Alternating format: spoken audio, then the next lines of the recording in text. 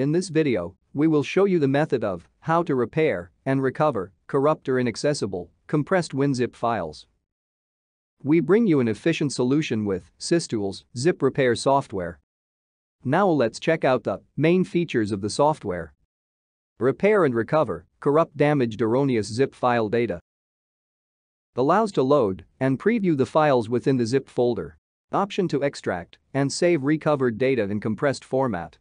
No file size limitation, repair zip file of more than 500 MB. Now let's check out the prerequisites before installing the software. Please launch the tool as run as administrator if you are using these Windows, WinZip 18.0 and all below versions. 512 MB RAM is required and 5 MB of disk space.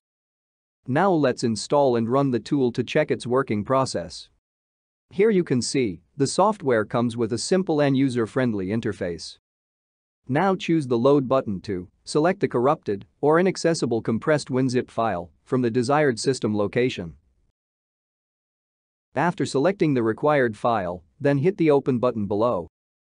After completion of the loading process, the software displays scanned zip file that is successfully loaded for recovery or extraction. Now select any file and right-click then choose the View File option to get the selected file preview.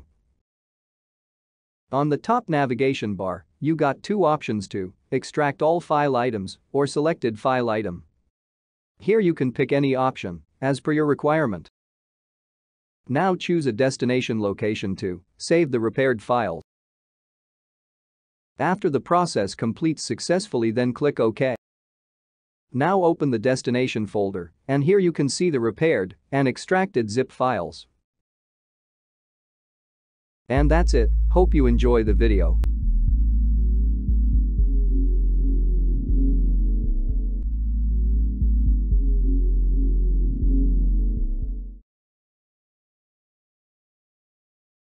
Log on to the given product page. For more details on purchasing the product. For any query, Mail us at support at the Thank you for watching.